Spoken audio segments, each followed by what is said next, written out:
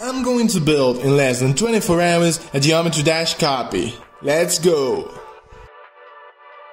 For this, we are going to need some assets. And because I don't really know what I'm doing, we're going to use the internet. To develop the game, we're going to use Pygame, mainly because I like Python, and I don't feel like learning Unity today. And for the game display, we're going to use a 720 resolution, just to keep things simple. Remember, we only have 24 hours, and I don't want to deal with scalability. We are going to use the Miami Synth asset pack created by Ann Smith to create the environment. You will have a link in the description if you want to check it out. Look at that, we can pay here, or maybe not, I don't have any budget yet. Here you can see the images that we are going to use. We have edited the highway to remove the sign. This is because we intend to loop horizontally through these images and having a recurring sign would be weird. So, let's get coding. With every project, I'll try to get a small example working. Here, we can create the game window with Pygame. And we'll also paint the background red to test things out. Next, we are going to load the background images that we have shown previously. Around this time, we reached 4 hours into the project. It probably shouldn't take this long, but things were taking quite a bit, and I started worrying about the final game result. To create the background, we just have to print and scale the last image until it fills the whole screen. Then, we add the trees, which we cannot scale, so we print the same image side by side until we fill the screen. Finally, we just have to print the highway on top, and then our background is finished. And since you asked, I will use this section to remember you that only a 0% of people that watch my videos are actually subscribed. So, if you end up liking the video, don't forget to consider subscribing. At this point, I had been working for 6 hours non-stop and with my eyes begging for help, I decided it was time to take the first break and eat some food.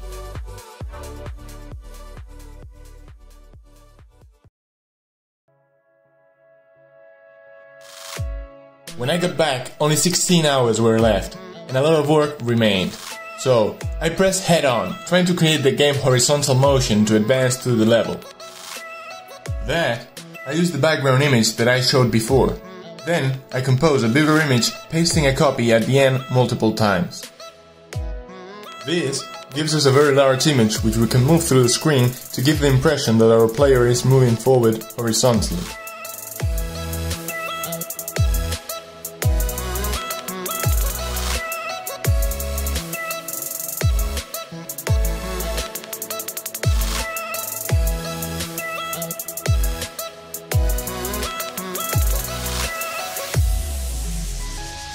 So, every game needs a player, and this one is no exception. So I opened LibreSprite and use all my artistic abilities to develop this masterpiece. I'm waiting for your comments. I actually think that it looks pretty professional, but I want to hear what you think.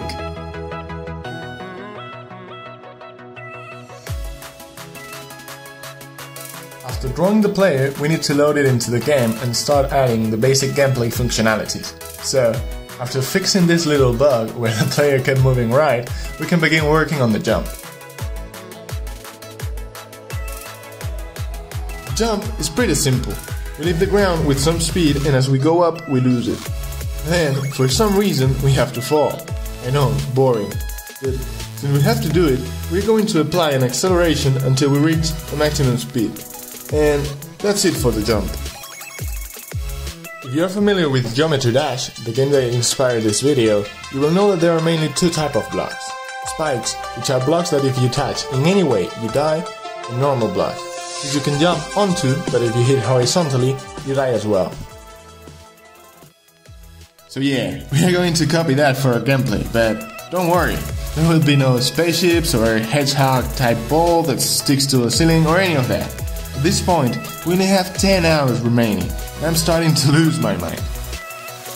And as good programmers know, you should always design your code with the next two years in mind, and always following patterns. And as you may be realizing by now, I'm the best programmer. So that's why I followed the position hard coding pattern to create the game level. An hour went by and our base game was done with its unique level and some background music. So, with the little time that I had left, because I wanted to go to sleep, I decided we should add a pause and main menu and call it a day. For the pause menu, we open our good old friend LibreSprite, where I went on to draw the only button that we are going to have. Then, we just have to print the button over the screen when we hit the pause menu, and handle the input differently. That would be it for the menu.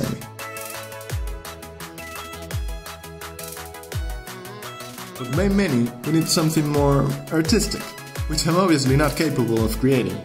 So I queried some free online stable diffusion model, and here's the first image I got, because yeah, I really wanted to go to bed.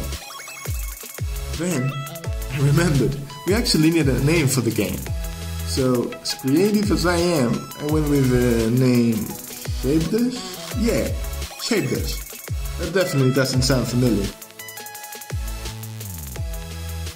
So, once again, back into LibreSprite to add the game name to the main menu image.